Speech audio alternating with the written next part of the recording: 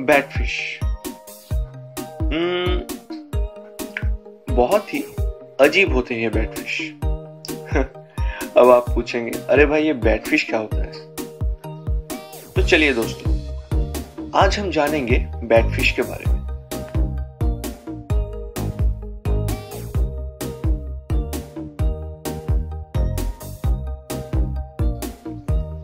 Batfish तो कई प्रकार के करीब साठ किस्म के। इनमें से कुछ है, जैसे red lip batfish tall fin batfish round batfish ऐसे ही और कई प्रकार के। लेकिन आज हम बात करेंगे रेड लिप बैटफिश के बारे में। रेड लिप बैटफिश का साइंटिफिक नाम है ओक्कोसेफेलस डार्विनी कॉर्डाटा जाति और ओक्टोसेफेलिडाई परिवार से नाता रखते हैं ये red lip batfish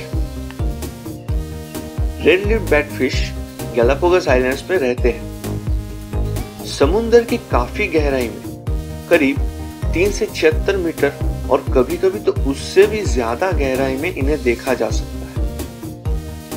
रोजी लिप बैटफिश जो कोस्टरिका के कोकोस आइलैंड्स में पाए जाते हैं, उनमें और रेड लिप बैटफिश में लगभग कोई अंतर नहीं होता है। ये जाने जाते हैं अपने लाल होठों से। लेकिन वैज्ञानिक अभी भी ये पता नहीं लगा सके कि इनके होठ लाल क्यों होते हैं। कई वैज्ञानिकों का मानना है कि इनके लाल होठ मादा को आकर्षित करने के लिए गठित हुए हैं। रेड लिड बैटफिश की आयु करीबन 10 से 12 साल तक होती है। ये अच्छे स्विमर्स नहीं होते। ये अपने विकसित हुए पेक्टोरल फिन्स के सहारे समुद्र में चलते हैं। हाँ दोस्तों ये समुद्र में चलते हैं। अपने शिकार को आकर्षित करने के लिए इनके पास एक इलिसियम नामक अंग होता है।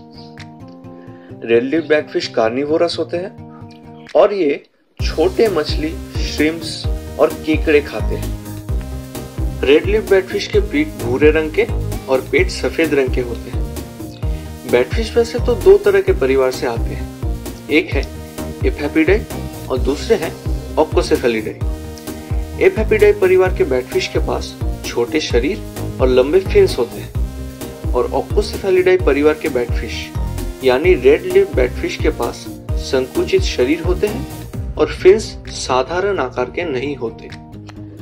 रेड लिप बैटफिश करीब करीब आठ इंच के होते हैं। सबसे आकर्षित करने वाली जो बात है, वो ये कि इनके नाम चमगादड़ के ऊपर रखे गए हैं, क्योंकि इनके कुछ कैरेक्टरिस्टिक्स चमगादड़ से काफ़ी मिलते हैं।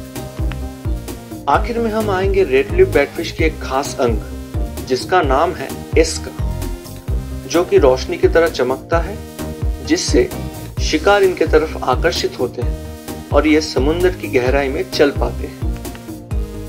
शुक्रिया दोस्तों, हमारी इस छोटी सी प्रयास को समर्थन करने के लिए। और कई सारे नए वीडियो लेकर हम फिर से आएँगे आपके साथ।